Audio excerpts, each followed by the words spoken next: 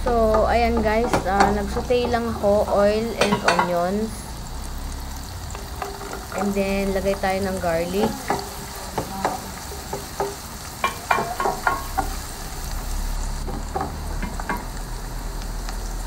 Then, tsaka natin ilagay yung slice na pork. So, isi-sear lang muna natin siya. Ito, secret ko dito usually, lahat ng meat binababad ko sa water. Nakakatatlong palit ako ng water para matanggal yung uh, redness niya or yung fresh na blood. So, ayan. Share muna natin yung pork. So, ayan. Pag na-share na siya, simplahan na natin ng soy sauce.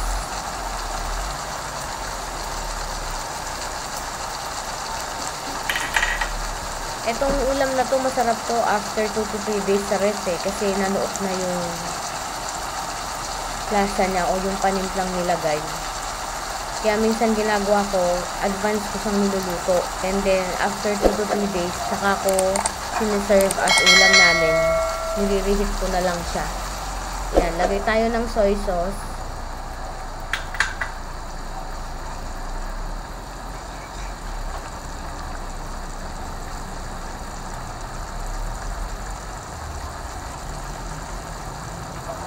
Ayan lang muna natin siyang mag-boil para manuot yung soy sauce dun sa pork.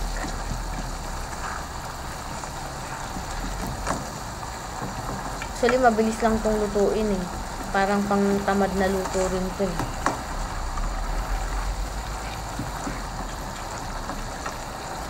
Ayan, halu-haluin lang muna natin para mag-even out yung nilagay nating soy sauce sa meat. And then, lagay tayo ng maanghang na favorite kong vinegar.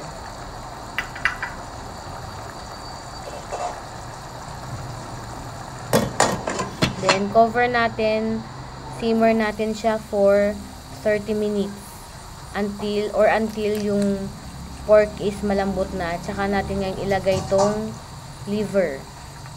Pork liver.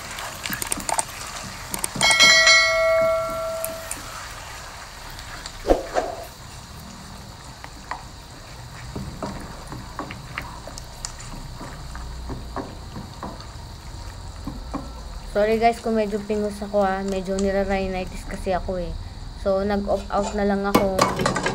Uh, naka-silent yung ano, hindi na lang ako nagsasalita kanina. Kasi nga dahil baka mahatching ako. So, naka-mask.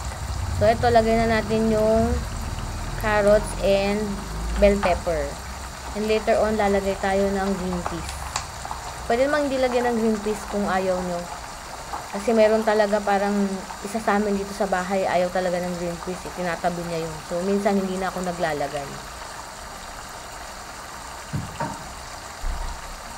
Lutuin lang natin ng konti yung mga veggies na nilagay natin. And then, ready na siya to serve. Masarap sa ganito yung medyo nagmamantika eh. Or pag hindi nagmantika, dahil konti lang yung may fats na ginamit yung meat, pwede naman siyang mag-add on na lang kayo ng oil pag once i-reheat nyo na siya after 2 to 3 days. Although, hindi naman masamang ulamin siya kagad. Pero, yan. After lang minutes lang, 5 minutes, luto na yung veggies. So, isa-serve na natin. I-plate na natin. So, syempre, lutuin din natin maayos yung atay ng baboy. So, ilang minutes muna ulit and then pwede na siyang i-serve.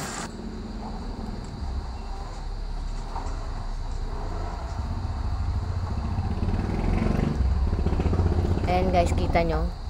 Nagmamantika. Ayan yung masarap. Kasi ako naman hindi ko siya type na masyado siyang dry. So, yan. Kain tayo.